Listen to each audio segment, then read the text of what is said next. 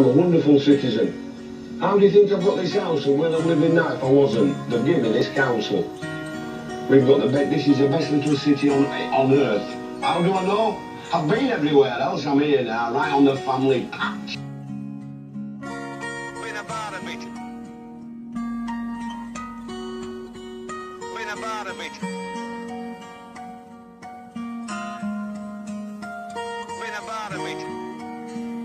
I go and have a look, and I've been. I've lived in the forests of North America. I've lived in the outback of the Ivory Coast. I've lived in India and Russia. I had my breakfast in Moscow. Me, me tea in Wood Street, Nick.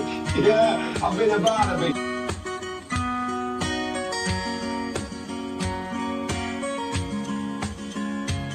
Been about a bit. What's got me into trouble in the past is having my physique trained as a child but not my emotions.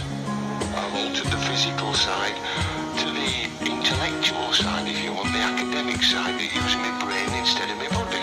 It's all the same machine and I didn't realise I'd got such a good brain until I took the wraps off and started using it. I've got a brilliant brain and I'll tell you why I've got one. Because right from being a kid I have been standing in a boxing ring. If you haven't got your wits about you, you're gonna get bashed. Years of having my wits about me has given me terrific eyesight, good hearing, a brilliant sense of atmospheric changes. I've learned how to interpret them as I've got older.